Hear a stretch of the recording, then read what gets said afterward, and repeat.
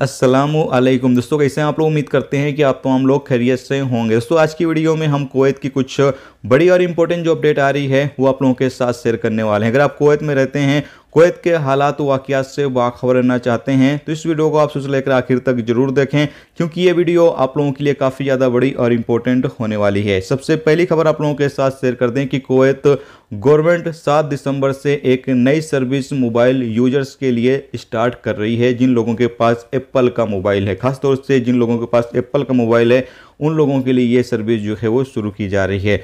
बताया गया है कि इस तरीके से आप कोवैत के अंदर किसी शॉपिंग मॉल से या किसी दुकान से कोई सामान खरीदते हैं और अगर आपके पास कैश पेमेंट नहीं है और आप पैसे जो है वो एटीएम कार्ड से पे कर देते हैं। इसी तरीके से अगर आपके पास एप्पल का मोबाइल है तो एप्पल पे एक सर्विस जो है वो सात दिसंबर से शुरू की जा रही है, जिसकी मदद से आप पैसे जो है वो दुकानदार को या कहीं पर कोई सामान खरीदते हैं, जहाँ पर आप एटीएम कार्ड का इस्तेमाल करते हैं वहीं पर आप अपने मोबाइल का इस्तेमाल करके पैसे जो है वो पे कर सकेंगे। यानी कि आपको एटीएम कार्ड की ज़रूरत नहीं पड़ने वाली है, मोबाइल से ही पैसे जो है वो पे कर देंगे। याद रहे कि ये सर्विस सिर्फ़ और सिर्फ़ जो एप्पल का मोबाइल रखते हैं, उन लोगों के लिए है। बाकी जो दूसरा मोबाइल रखते हैं, उनके लिए ये सर्विस फ़िलहाल अभी शुरू नहीं की गई। हो सकता है आने वाले दिनों में उनके लिए भी स्टार्ट कर दी जाए।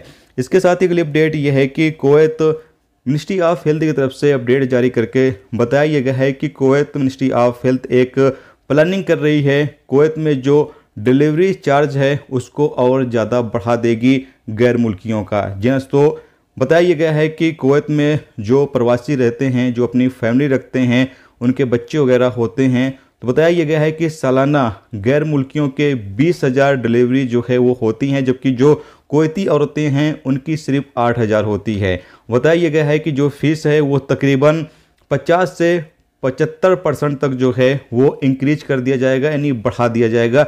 डिलीवरी चार्ज जो फ़ीस है, वो 50 से 75 परसेंट तक जो है, वो कुवैत के अंदर बढ़ा दिया जाएगा, क्योंकि कुवैत में प्रवासियों की आबादी जो है, वो काफ़ी ज़्यादा है, जिसको देखते हुए कुवैत गवर्नमेंट जो है, ये फैसला जल्द ही ले सकती है कुवैत में हो सकता है अगले साल से जो फ़ीस है वो ज़्यादा देनी पड़ जाए डिलीवरी चार्ज का।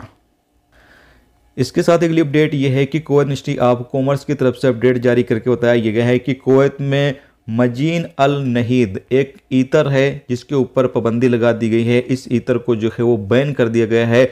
इस्तेमाल करने पर भी पाबंदी लगाई गई है और साथ में बेचने पर भी पाबंदी लगाई गई है और साथ में इसकी सेलिंग वगैरह भी नहीं की जा सकती है। पूरी तरीके से इस इतर को जो है वो बैन कर दिया गया है तो आप इस इतर को बिल्कुल भी ना खरीदें, क्योंकि इससे आपको नुकसान हो सकता है, इसलिए कोवैत गवर्नमेंट की तरफ़ से ये फैसला जो है वो लिया गया है।